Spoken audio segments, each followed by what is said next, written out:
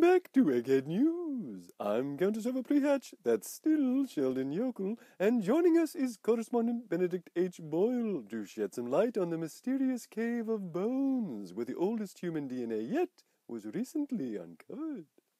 That's right, over. If only these bones could talk. That would be terrifying. 100 feet below the surface in a cave in northern Spain, inside the oldest human bones ever discovered, a key to man's origin was found. A skeleton key? Sure. But this skeleton key only opens the door to more questions. Boo!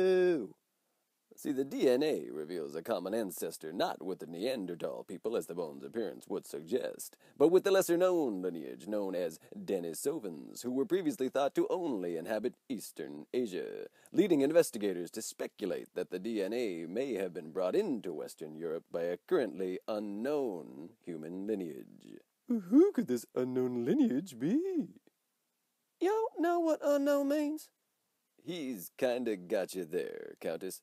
But you're correct to suggest that this discovery may raise more questions than it answers. It's funny how when she's wrong, she's still not wrong. She's correct to suggest. In a sense, we now know less about the origins of humanity than we did before.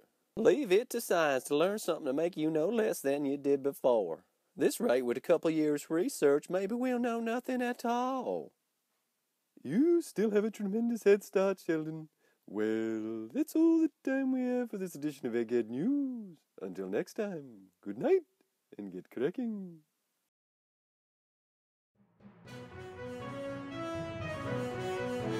It would have been cute if you had said tremendous egghead start, Sheldon.